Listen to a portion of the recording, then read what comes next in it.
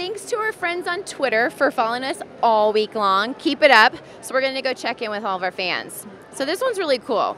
Amelia says she's watching from Denmark and go Nathan, go Nathan, and she's having to get up at night to watch our show. So that is a true fan. Thank you, Amelia, for being such a true fan.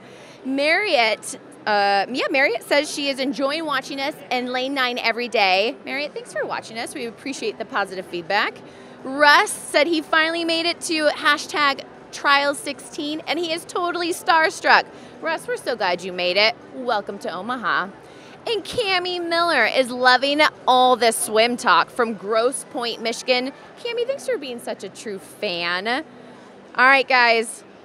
All week long, we invite you to join the conversation by tweeting at us at hashtag DeckPassLive. Share your questions, who are you cheering on, and where are you watching from for us to share live on our shows. For all the latest video, news, and photos, visit us at usaswimming.org. And as has become our tradition here on Deck Pass Live, presented by AT&T, we leave you with some post-race thoughts.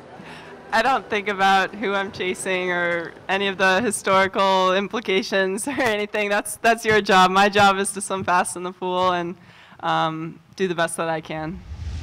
I said to Bob, I, I, said I wanted to be 122 at the 150, and I was. And and um, you know, I I haven't felt great in the water, but you know, it's it's this is, you know, it, like I said, I'm checking a box off. You know, being able to get on the team, and, and you know, we have a little over 30 days to prepare ourselves for, for the, the next time that we race. And, and um, you know, Bob and I have talked about some things that we probably can change between now and then, and, and, and just move forward. And um, you know, by no means am I happy about going 154, um, but I'm happy to have the opportunity to represent my country um, at the Olympic Games.